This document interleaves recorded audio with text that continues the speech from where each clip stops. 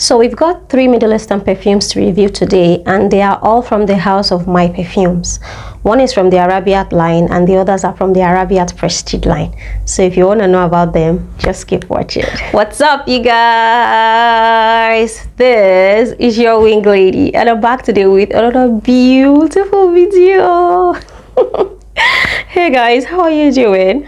I hope you're doing well well, Wing Lady is doing well now. I haven't been doing well. God, I felt seriously sick. Oh my God, it's been so long since I was that sick. Like, guys, I could not get up.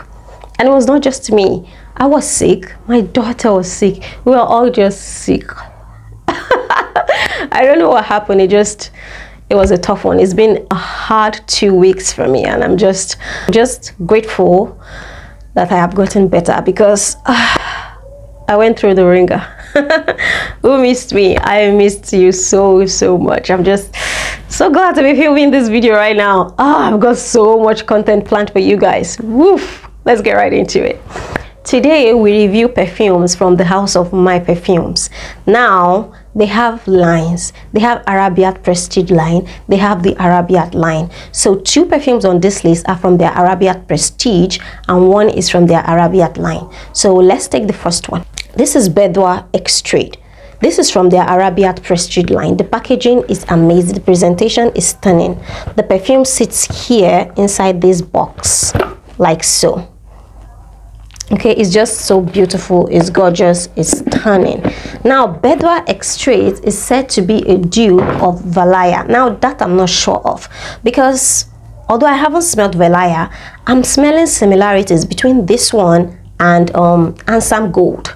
Okay so ansaam gold is not duping. It's not even close to valaya. Ansaam gold is duping oriana by perfumes de Marly it seems as if this bedour extrait is also duping um, Oriana by Perfumes de Marly. But since I don't have access to either of the perfumes, I'm just going to smell this and tell you exactly how this smells. Mm. Mm. Ah, guys, if you're a feminine kind of woman, oh, I forgot before I get right into the review our backdrop changed. I was feeling this yellow. I thought yellow is gonna be nice, so I decided to try yellow. What do you think? is it giving or is it not giving? I'm probably gonna film a couple of videos or so with this new yellow backdrop. Shall it stay? Shall it leave? I'm feeling it though. But if you're not feeling it, let me know, okay? So Bedour Extrait right off the first burst. It smells like oranges, you know, like citruses, like powderiness, like fruits, a bit of muskiness. It's sweet. Just gives you that fresh, sweet burst of juiciness, powderiness. It's a typical fruity floral fragrance but the fruitiness and the floralness are well balanced and that one is not outshining the other they're sort of like balanced it smells fruity citrusy that citrus gives us this fresh quality this fresh characteristic this fresh characteristic otherwise it wouldn't be fresh at all but because it has citruses in there it makes it smell a bit fresh yeah it comes off fresh then it's powdery the powdery the powderiness in here makes it come off as a bit girly, a bit playful, a bit young. So it's that kind of perfume that ladies, young ladies can wear. Mature ladies can wear this too. Yes, you definitely can. It doesn't smell juvenile or anything like that. It has depth to it. It has musk in it. It has a background. It has body. It's not just doing the whole girly girly juvenile perfume thing. That's okay too if that's what you like but this one has more it's sweet it's floral it's powdery it's citrusy but then it has a base that muskiness gives it some sort of sexiness in the background but if you don't like powdery scents at all this might bother you a little bit because it's quite powdery actually. But what i definitely smell in this perfume is sweetness oranges citruses musk fruitiness freshness and a bit of powderiness. So it's that kind of sexy perfume for a lady that wants to smell sweet, that wants to smell powdery, that wants to smell a bit fresh, but you don't want to go overboard. Everything is well balanced in this perfume. There's nothing giving you that rough edges. There's nothing at the um, background. There are no sharp corners. There are no sharp edges. There's nothing screechy. It's mature enough if you want to wear it to a formal location and it's also playful and girly enough if you want to wear it on a date. So it's just sort of very rounded, very blended, very sweet. Not too sweet in that give you cavity kind of sweetness, fruity, juicy, jammy sweetness. Not that kind of sweet, but it is sweet enough for you as a lady to wear. The only problem I have with this is that it does not last that long. I wish it lasted really, really long. It does not last long, guys. It does really doesn't last long. On skin, it only does around three hours, three to four hours on my skin. Then it disappears. Literally, just poof, it just goes away and you can't smell it anymore. And on clothes, it doesn't do more than 12 hours. It doesn't do the whole round the clock thing, 24 hours thing. It doesn't really do that. It just, it goes away pretty fast and that's really the only problem that I have with it. As for projection, it does project because when you spray this, it can fill up a room. Definitely it's strong in terms of initial spray. When you spray it out, people can definitely smell you. It has sillage, yeah. It definitely has sillage. It has that projection. When you spray it, people will smell you. They will smell you. It's just the fact that that sillage is not lasting so long. That performance is not mind-blowing. It's not doing a lot doing a lot. It doesn't last too long but it gives you that bubble around you such that when people come close to you they can smell you. So if you want to get the best out of Bedour extract you have to overspray. Spray a lot. Douse yourself in it. People are going to smell you when they come close to you. But it's not going to last like super super long that's just the only thing aside from that it's a beautiful beautiful scent and it's amazing i was surprised that it smells this good because i I don't know, I wasn't expecting much, but it surprised me. It smells really pleasant. It smells really lovely. It's quite enjoyable. I've been reaching out for it very often, and I'm like, why am I reaching out for this perfume very often? That's because I enjoy it. It's just because I enjoy it. I smell it, I spray it on. I like the smell so much, it's addicting. I, I keep going back. until I have to stop. But I've been wearing it steady and I'm really loving it. So far, so good. It's a good perfume. If you're thinking of buying it, definitely, definitely go ahead and buy it. I'm going to leave uh, Safa Nigeria and Cadillac Nigeria links in the description box. You can pick it up from there. You can pick it up anywhere you like. You won't regret it. Now on to the next perfume. This is Al Shujae by My Perfumes. Al Shujae comes in this beautiful luxurious box. okay, you see that? Honestly, the packaging just it, looks a bit masculine to me. It's just giving masculine energy, masculine energy, masculine energy, and the perfume itself smells. Let's just get into the review, okay?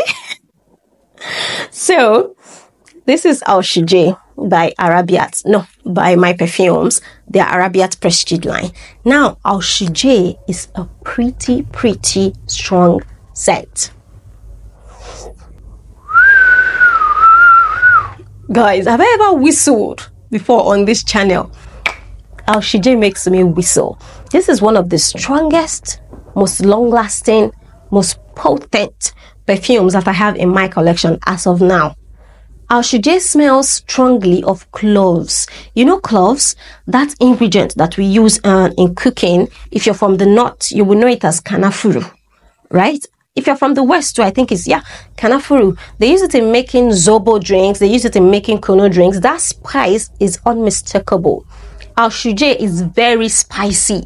It's spicy, it's woodsy. It's got cardamom in there, it's got cinnamon in there, it's got cloves in there, it's got woods in there, it's got oud in there. It's so woodsy and leaning very, very masculine. It's like dark. It's even, it's leaning dark with how concentrated it is. It's potent, guys. If you're not ready, if you're not a lover of very strong scents, don't dabble into Al Shujae. Al Shujae, it's not for kids, it's not for babies. It's very, very strong and it lasts all day. Literally, when you spray it on your skin, you have to scrub your skin off if you want it to come off. You have to go take a bath with soap and sponge and literally scrub because it sticks to you. It sticks to you, it has body, it has depth, it will last forever on your clothes. If you spray Al Shujae stays days on your clothes. No jokes. Al Shujae, you spray it on your clothes today Tomorrow you can smell it. The next day after tomorrow, you can smell Al Shujae on your clothes. So go easy with this one. This one is literally a lot more masculine than feminine. The only sweet things in here that I'm picking up are roses. You see that whole earthy thing going on, the woodsy thing going on, the incenses going on, the spices, the patchouli. Very concentrated in this fragrance. It is strong, it is for men, and it lasts forever. As for projection, sillage, performance, it does very well. It's a 10 over 10 strong beast mode scent. If you spray Al Shujae here, someone in the next room will smell you because you're wearing our that's just it. That's just the truth. It smells so deep and so concentrated. Men on my channel if you're really looking for that strong woodsy scent that nobody smells like go for Al Shujae by uh, my perfumes. It will do it for you. It lasts so long. It lasts forever and ever and ever. Ages forever it lasts ages yup it lasts super long. So that is Al Shujae by my perfumes. And then we move on to the last but not the least. This is Lamsat Harir Gold. It comes in this beautiful gold box, okay? And then this beautiful gold bottle is just like the original Lamsat, Lamsat Harir, oh, but it's gold and has a black tassel.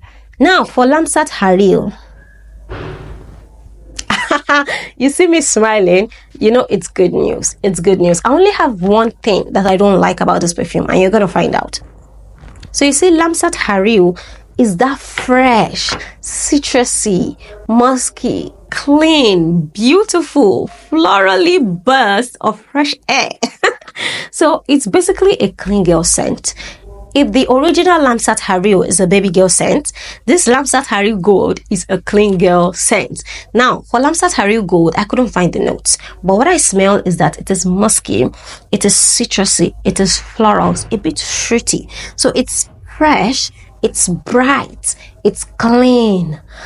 It's like a, a lady in a sundress. Do you understand? Like on a sunny afternoon, on a beautiful sunny afternoon, such as this one.